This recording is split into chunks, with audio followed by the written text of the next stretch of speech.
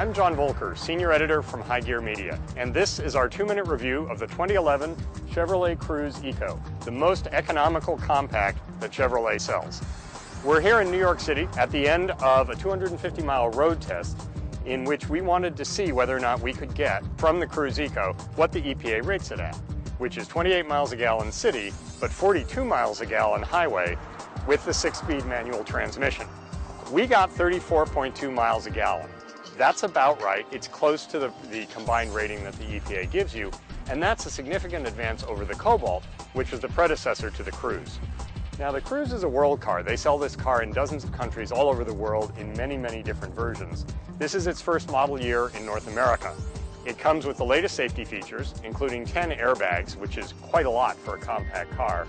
Uh, OnStar is standard, and a number of other features.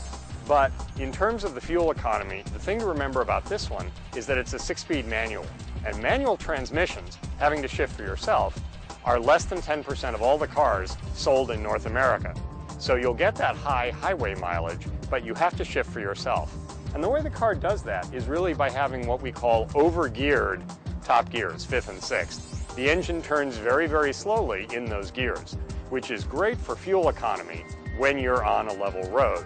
However, if you're on an uphill or you suddenly need to pass, you have to downshift, maybe not once, but twice, in order to get the engine up into its power.